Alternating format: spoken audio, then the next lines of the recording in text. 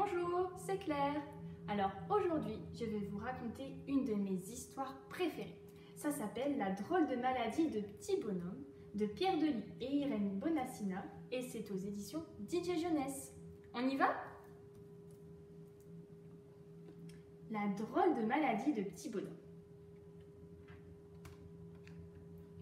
C'est l'heure de manger et Petit Bonhomme n'est pas dans son assiette. Lui qui est si souvent tête en l'air, le voilà qui fonce ventre à terre vers la maison.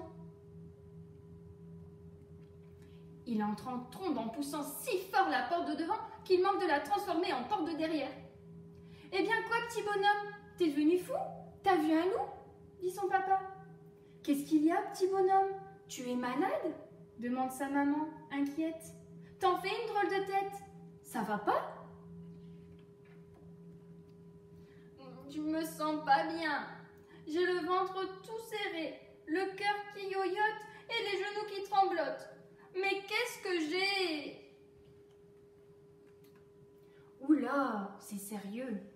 La maman s'approche du papa. Elle lui pose la main sur l'épaule. Je crois que ça y est, chuchote-t-elle, avec un drôle de sourire.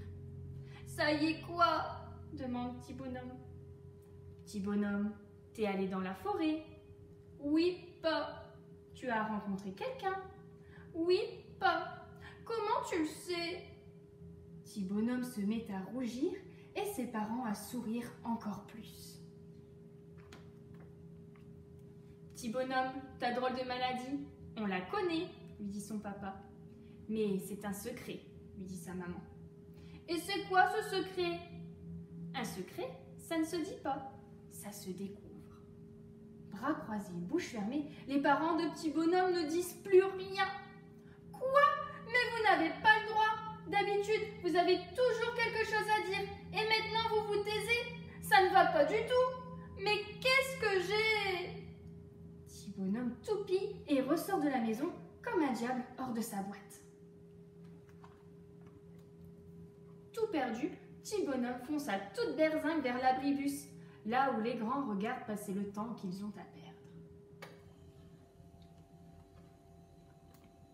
Salut les grands, je suis allée dans la forêt et j'ai rencontré quelqu'un. Maintenant, j'ai le ventre tout serré, le cœur qui yoyote, les genoux qui tremblotent et la tête à l'envers. Mais qu'est-ce que j'ai?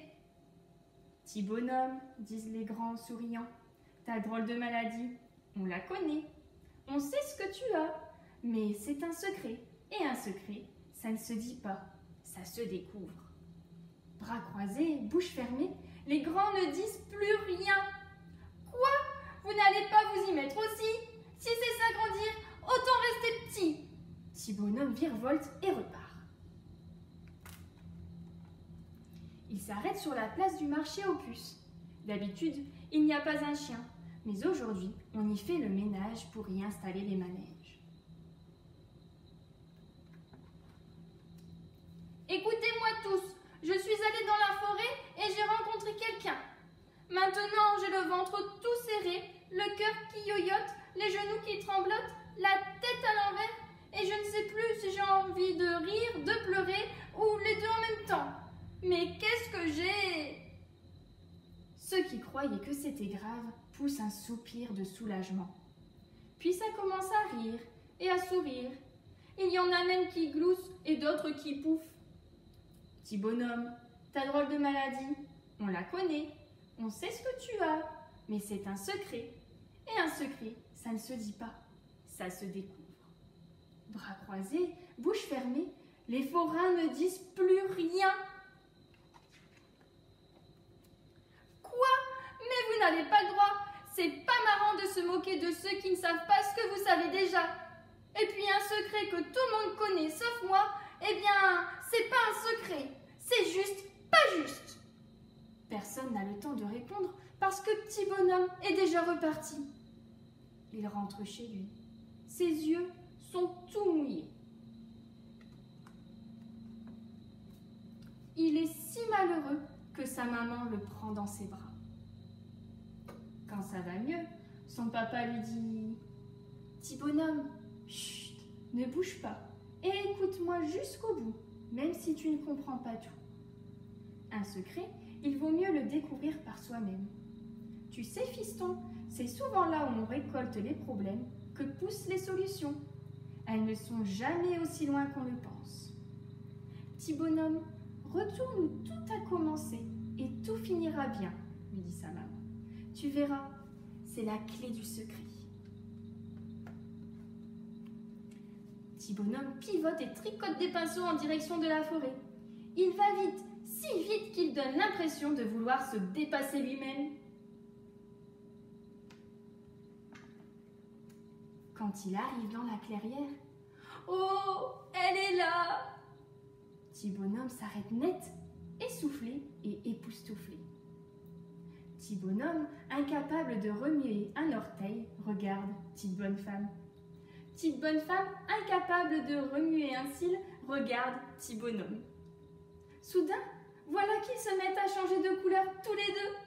On dirait que petit bonhomme attrape un coup de soleil et que petite bonne femme se déguise en fraise des bois.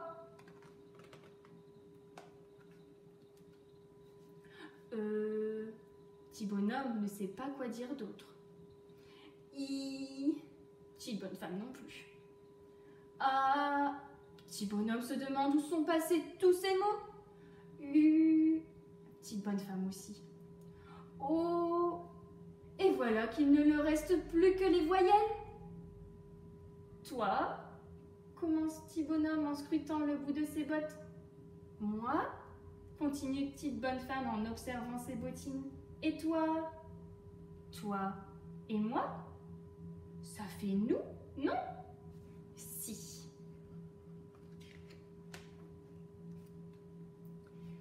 Et voilà comment petit bonhomme et petite bonne femme sont tombés en amour. Une drôle de maladie en vérité.